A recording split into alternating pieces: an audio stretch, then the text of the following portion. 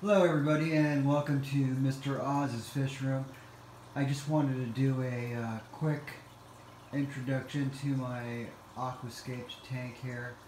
Um, there is some CO2 being diffused into this tank and that's one of my main focus points here. Otherwise I'll just go over the tank here real quick. Um, large sponge filter, CO2 diffuser in the back, um, on sword, uh, Java fern, Anubias, um, uh. Um, this plant, I know the name, but it's so long and difficult to uh, to pronounce, and you can actually look at it up very easily. Um, and then I've got some type of grass growing down here, um, some Monte Carlo going down there. Um, and then I've got some rummy heads, some Serpae tetra, a school of eight, and some uh, cherry barbs in there. Uh, favorite fish by far, well I don't know about favorite, but one of my favorite fish are the rummy heads. I love the Corydoras. They're just, you know, if you have had Corydoras, you know what I'm talking about. They're just fun to watch.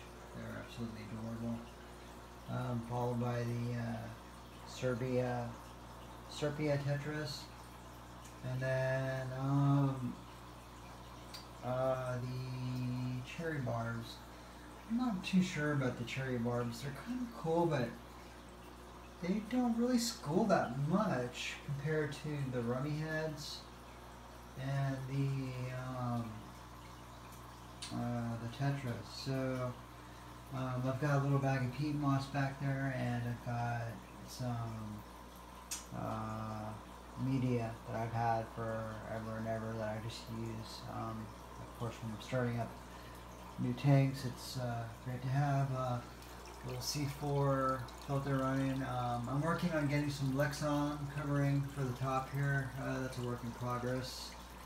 It's going to be uh, sliding um, at some point. Uh, just doing a little heat test here with this Marineland um, 6500K light, which is working out pretty well. Um, the plants seem to be pretty happy. Um, there is um, Miracle-Gro in the soil here. Uh, it's thicker in the back than it is up here in the front um, where I've got the sand. Um, so there's Miracle-Gro on the back where most of the plants are. And then on top of that I've got some Floramax and um, CO2 bubble tester and then DIY CO2 bubble counter.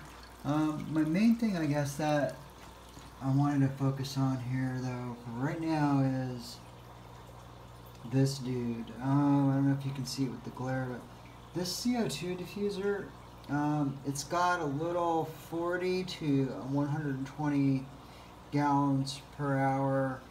Um, tiny, let's see, yeah, it's hard to see, um, pump, which is basically right there.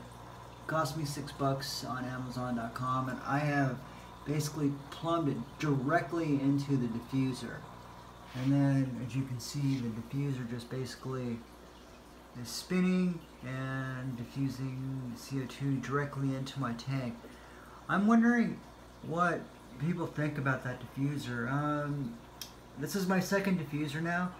For some reason, the um, First one stopped spinning. I did a bunch of testing, cleaning, and it didn't work out. So I have to figure out how to maybe um, um, get some sort of a lubricating uh, liquid or figure out some way to keep uh, that impeller working longer than a few months. Can't keep replacing the diffuser even though they're only 12 bucks. 15 to 15 bucks every few months. I'd just rather, you know, set it and forget it. But, um, yeah, so we'll see. This is uh, definitely a work in progress, this tank, but I am happy with it right now, and I am having fun with it. So thanks for tuning in, everybody, and uh, until next time.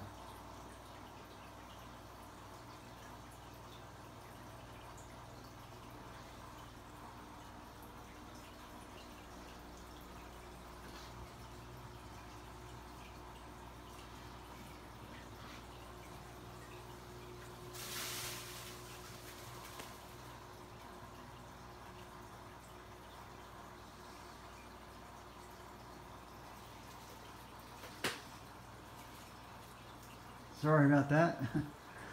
I'm not much of an editor. I just don't have the time right now.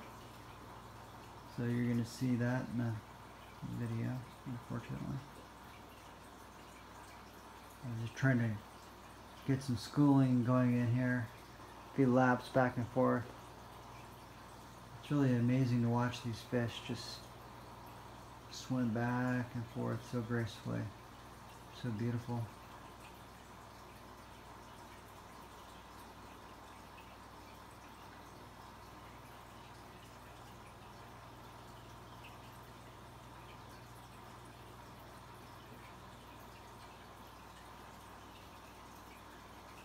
And this is a 55 gallon tank, by the way, if I didn't mention that.